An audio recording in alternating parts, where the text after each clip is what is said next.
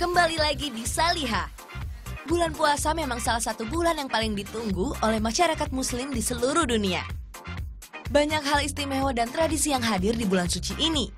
Salah satunya tradisi berkeliling sekitar lingkungan rumah, membangunkan warga untuk melaksanakan sahur dengan membawa alat musik tradisional seperti beduk atau kentungan. Ternyata nggak cuma di Indonesia aja loh yang mempunyai keseruan tradisi membangunkan sahur dengan beduk atau kentungan. Di luar negeri seperti Turki juga ada. Tradisi membangunkan sahur di negeri ini namanya Ramadan Drum. Cara mereka menabuh beduk hampir sama dengan di Indonesia.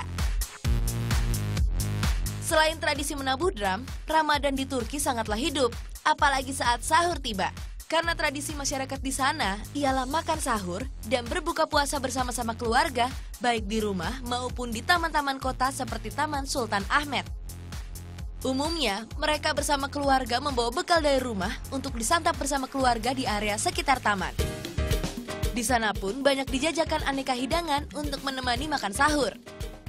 Salah satu makanan khas Turki yang dapat dijumpai ialah gozleme. Gozleme ialah makanan serupa roti kebab khas Turki yang hanya ada ketika bulan Ramadan. Selain suasana sahur yang ramai, suasana Ramadan di pusat Istanbul pada siang hari pun tetaplah ramai dan sibuk. Tapi ada salah satu kota di Turki yang memiliki suasana Ramadan yang berbeda dari kota-kota lainnya. Ada satu kota yang suasana pemukimannya lebih tenang dan sepi karena letaknya yang berada di perbukitan, yaitu Sarir.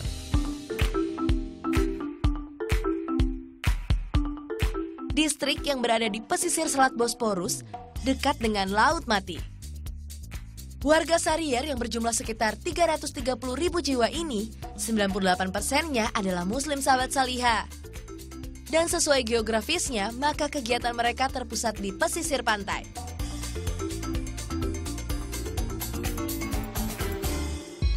Di Sarier, pasar hanya ada sekali dalam sepekan, jadi banyak warga yang berbelanja di toko-toko sekitar. Pada saat Ramadan tiba, gerai sayur mayur, buah-buahan, serta gerai rotilah yang paling ramai dikunjungi warga karena mengingat roti adalah makanan pokok warga Turki. Jenis roti yang dijajakan sangat beragam. Namun ada satu roti khas yang hanya diproduksi pada bulan Ramadan saja, yaitu pide. Pide ialah roti khas Ramadan yang terbuat dari terigu, susu, ragi, dan minyak zaitun. Harganya hanya 2 tele atau sekitar Rp12.000 saja. Selain toko roti, gerai yang ramai dikunjungi ketika bulan Ramadan ialah Cicek. Cicek adalah gerai bunga yang menjual berbagai macam bunga.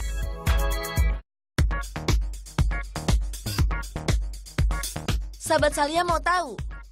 Pada saat Ramadan, tradisi ngabuburit di sini, warganya kerap mengisi waktu menunggu berbuka puasa dengan mengunjungi pesisir Bosporus untuk sekedar berkreasi di taman kota bersama keluarga atau melakukan aktivitas memancing karena memancing ialah hobi yang paling populer di Istanbul.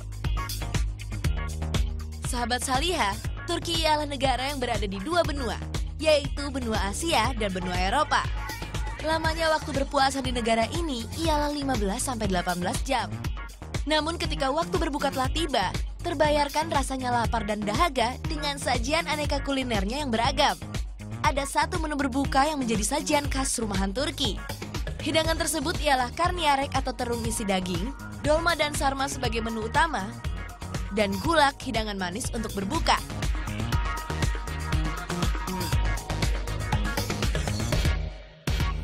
Dolma dan sarma yang terbuat dari bahan yang sama yakni campuran nasi, daging sapi giling, bawang bombay cincang, tomat, irisan daun peterseli, merica, dan garam dengan penyalut daun selada dan anggur. Karena di Turki banyak sekali perkebunan anggur, khususnya di bagian barat, sehingga daun anggur sudah biasa digunakan untuk berbagai macam masakan. Daging yang disalut menggunakan daun dapat digulung dengan ukuran sesuai selera. Selain dengan daun, adonan pun dapat dipadukan dengan terong, paprika, dan zucchini.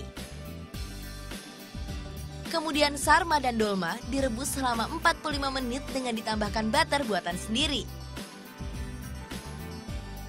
Kalau gulak ialah hidangan manis untuk berbuka puasa.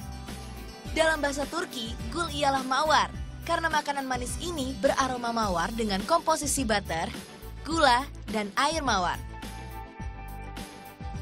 Karena cara pembuatannya, adonan kering yang berlapis-lapis khusus dilapisi dengan tumbukan kenari dan kacang hazel khas Turki. Proses melapisi ini terus dilakukan hingga loyang terisi penuh. Setelah itu, cukup didiamkan. Dan gulak siap menghangatkan suasana berbuka keluarga. Tidak hanya ada itu sahabat Saliha, ternyata masih ada loh sajian khas Turki lainnya yang biasa disantap, yakni nasi kismis khas Turki dan pastirma. Pastirma ialah sajian daging sapi mentah yang dimakan bersama keju dan roti. Unik-unik ya makanan khas bulan Ramadan di sana. Buat sahabat Saliha yang sedang berada di Turki atau berencana berlibur di sana, bisa mencoba suasana Ramadan di negeri ini.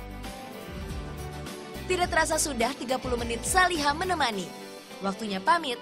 Dan jangan lupa saksikan Saliha Sabtu depan ya. Selamat berpuasa.